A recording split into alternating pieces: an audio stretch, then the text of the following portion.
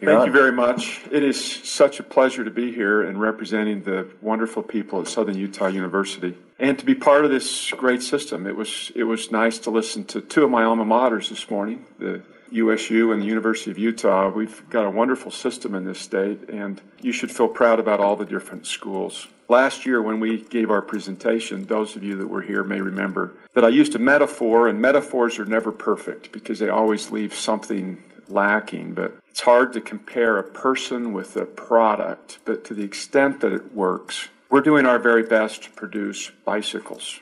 Being a little less concerned about how many raw materials or subcomponents come in the front door and being far more concerned with how many smooth operating, high tech, quality, tuned up bicycles go out the front door. That's been a focus of ours, and that involves several things for us. One is is completion rates. It's, it's simply the increasing the, the rate of students who are succeeding with degrees, and I'll talk about that in just a moment. And secondly, making sure that the quality is good, that the bicycles that come out are top quality bikes that are tuned and ready to go in today's environment. And then lastly, um, I want to tell you just a couple of the really fun innovations that are going on at Southern Utah University. So, first, graduation rate. If we go back um, a few years, you can see that the graduation rate has increased by 47% or 7% per year consistently over the last six years. These lines are not linear, there's a little bit of up and down in them, but this is our focus. We're not satisfied despite the fact that we now have the second highest graduation rate in the system. Um, our goal is to get it up to at least 70% graduation rate. We think that that is going to require us to increase in the next six or seven years the same amount we've increased in the last six or seven years. Uh, the next um, phase, though, is more difficult than the last phase. And as we approach what I would uh, compare to being full employment, because a lot of students are coming and then they have some other goal that comes up. As we continue to increase our graduation rate, we're making a sincere effort to bring everyone with us. This chart that you see is comparing Southern Utah University to every public school in 14 western states.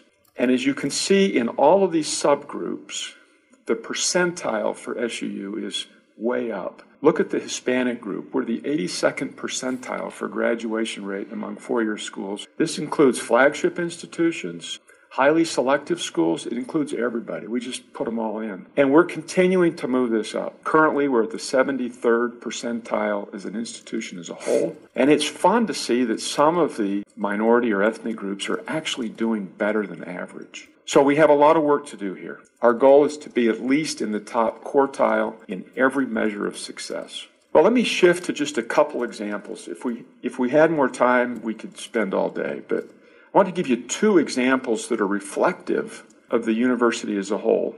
First is in the business world, and as you know, we have a proposal for a business we don't expect that to be funded today, so I'm not making a pitch. Be funded this year. I'm not making a pitch for that. But our business students are doing phenomenally well. Um, we do this ETS major field exam for every single graduating business student. It's a voluntary test, but it's administered by 489 universities in the United States. In Utah, Weber, Westminster, Dixie, and SUU do this test. And we complete in the 84th percentile, in the top 16th percentile of all business students in the country. And you can see the results below that. Every single accounting graduate, economics, and marketing graduate have jobs uh, in their field within six months of graduation. Outstanding program. In the second example that I would give you is in healthcare. Uh, we've had an exceptionally good year this past year from our students who are in the health professions and the pre professional programs. Now, typically, our nursing students, on the first time they take their board exams, pass that exam at about 97.5%. But over the last couple times, every single student has passed on the first go. And as you can see down below, every single student that applied to medical school was admitted this last year. Every student in optometry school, the vast majority that applied to dental school. We don't see those numbers every year. It's more like 90% rate getting into medical school. But the last little bit, it's been 100%. I don't believe there's an institution in America that can say that every single student that went into their pre med program was able to get into medical school. So this talks about the rigor, the strength, preparation. In order for this to work, what happens is that when a student shows up, they sign up for the Rural Health Scholars Program, and we begin tutoring them from the first semester in their freshman year to help them have their resume perfect by the time they graduate. This is a quality education plus to do everything we can to help them be successful. The next area that I'd like to mention is what we're trying to do to respond to industry. And this is one example. So, the Sandy Area Chamber of Commerce did this really large study, presented it to us in December. This is a snapshot from their executive report. And you can see here the first conclusion and recommendation they gave focuses on more frequent project based assignments. That students are graduating with a lot of textbook knowledge, but in general, they've never done anything on their own. They've never had to create a project by themselves. This is consistent with national data. 87% of employers across the country are asking us in higher education to produce graduates who have experience in their own original projects. And so Southern Utah University has taken this on. We're the only institution in the Western United States that I'm aware of that is doing this in a comprehensive manner. Everybody's doing it in a small degree. We're doing it for the entire university. And I can give you an example of this. Tyler Richardson is an engineering student, always liked building things. We have five engagement centers and he needed to pick one of the engagement centers, so he chose the Creativity Engagement Center um, and decided what he was going to do was create a windmill that could power up a battery and then charge his cell phone or whatever else he wanted charged. So what he had to do was just create a proposal, a budget, all the equipment that he needed, um, how much time it would take, what he was hoping to learn from it, what the outcomes would be, and put this all together, make a proposal, have it accepted. And then the second phase is to carry out the project. We're not as interested in whether the project is successful or not. What we're interested in is what they're learning. His was very successful. It took a lot of uh, effort ended up with a windmill on top of his house that charged a car battery that then could charge his cell phone or anything else he wanted. The third phase is the reflective phase. What did I learn? What could I have done better? How did this work? We think that this is exactly what industry is looking for graduates. And they're doing this whether they're graduating in engineering or history or accounting or anything else. Really, really fun project. We're getting all kinds of accolades from around the country because we're leading this discussion nationwide on project based learning. It's a subset of engaged learning that focuses on practical skills for industry. Now, I'd like to give you one more example of the innovation that's going on at Southern Utah University, and that's in the world of general education. I'll give you an example. My daughter signed up for a research writing class several years ago, went to the first day and was told, Your research writing assignment is the death penalty. It just depressed the heck out of her because it wasn't a topic that had any interest to her at all. She didn't see any relevance. She came home and said, This is what my topic is. And I said, That's really cool, sweetheart. We can do this together because I think that's a fascinating topic. And she says, I hate it. And therefore, she didn't put much effort because she just wanted to get through it. It was, it was a classic general education hoop to jump through rather than something that was going to change your life. We're doing away with that. We're getting rid of hoops. We're creating a comprehensive, integrated, immediately relevant kind of a program. Let me give you an example of how this could look. You can imagine how excited perhaps a music student might be to take physical science class. They typically are so focused on music, they're not terribly interested. And so then they're kind of turned off by science because they end up taking science classes with science majors who love it for their general education requirement. Imagine having a vocal class, three credit vocal class, and a three credit physical science class that is on the science of sound. And taking these two three credit classes, putting them together to one six credit class, taught, team taught by two faculty members, a scientist and a musician, and teaching science, all the essential learning outcomes, the scientific method, but teaching it in a context that is immediately relevant and interesting to the music student. Take an engineering student who has a three credit project class that is then married to a three credit research writing class a class that they typically don't enjoy taking. And now we have a team taught class between a writing instructor who doesn't have to spend half of the semester building content that they can then write about, but can spend the entire amount of time teaching how to write.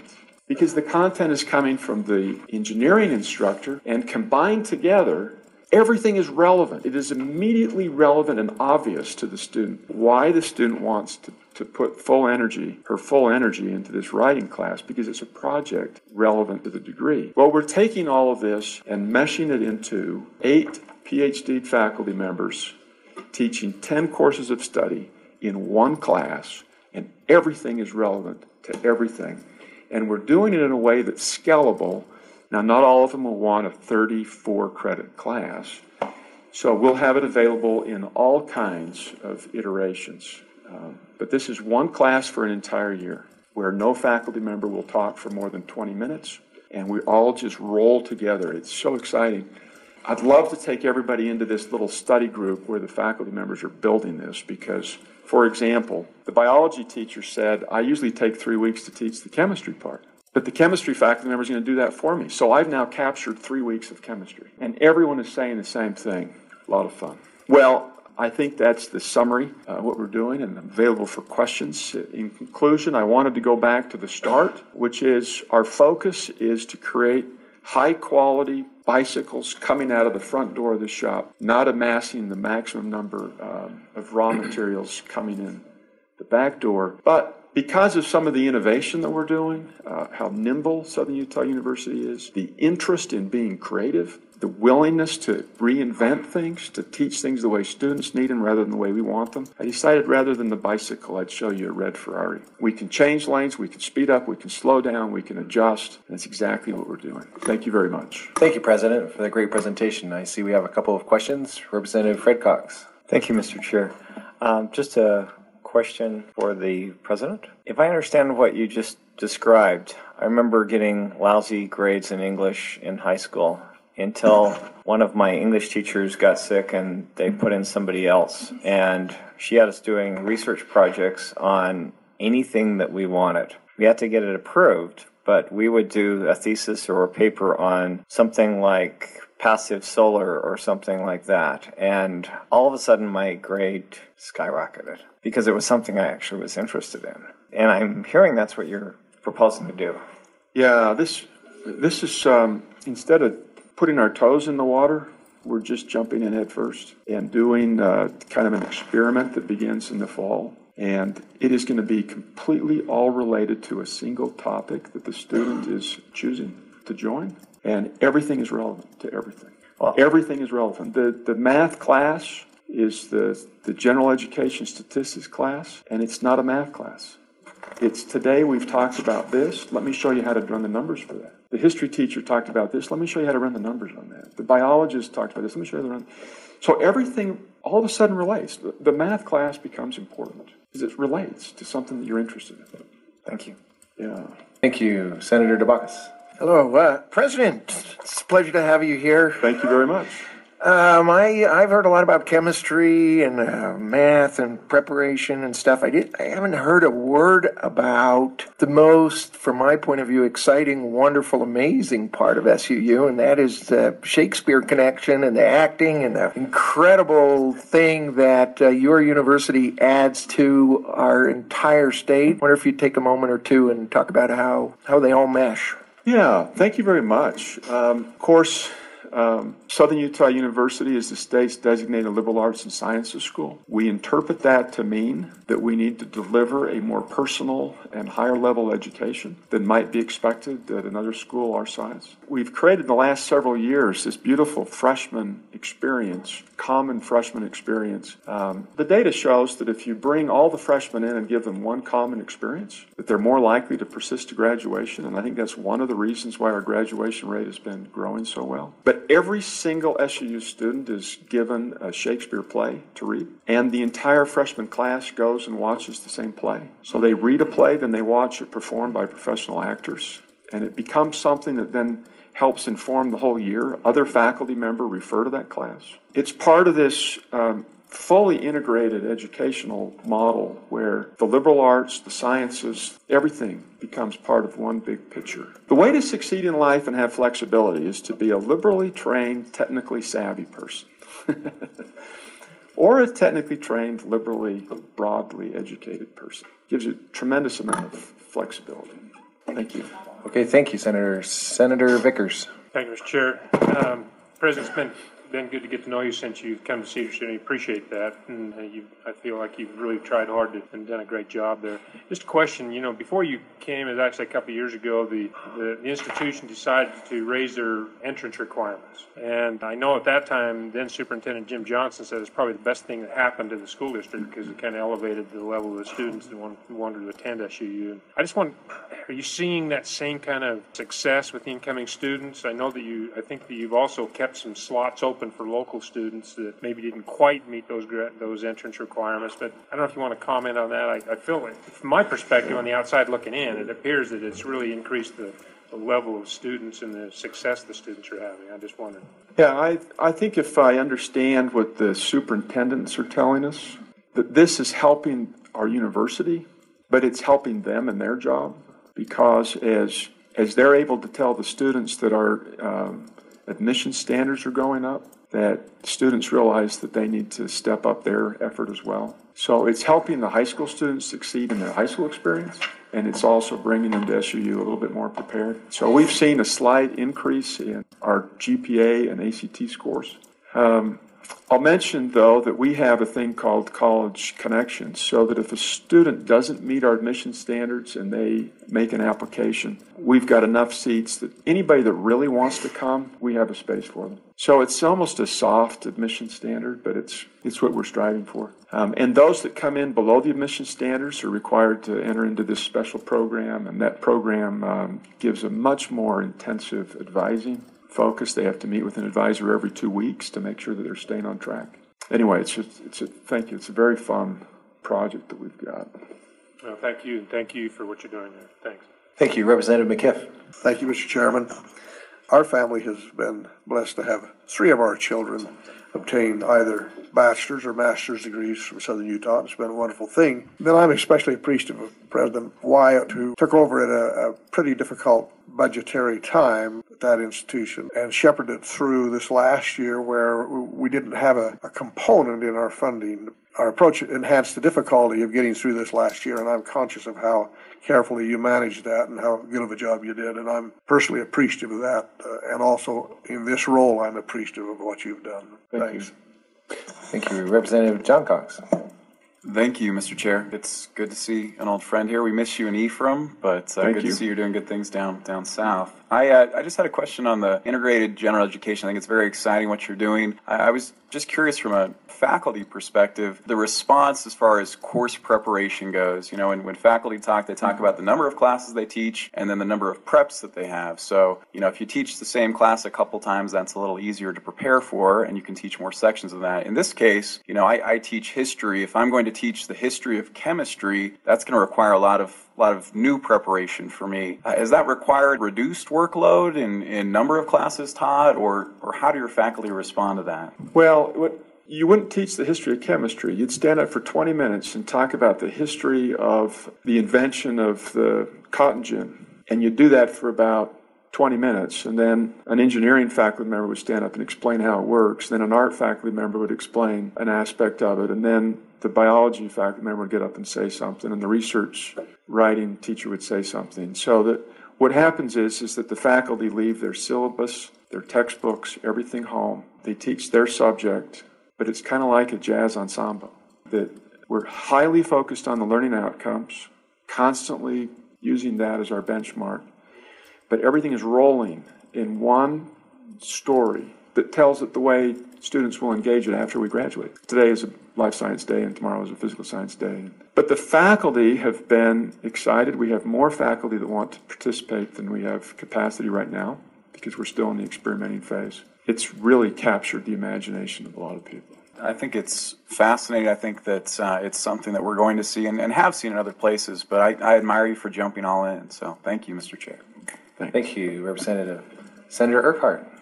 Thank you, President. Um, your time at Snow and your time at SUU, would you please tell us what financial incentives do you currently receive from the state of Utah at your institution? We, the way we fund higher ed, what what are we uh, creating incentives for you to do, and what should we do to create the proper incentives for S? What do you want SUU to be, and and what incentives should we put out there for SUU to respond to those and move in that direction?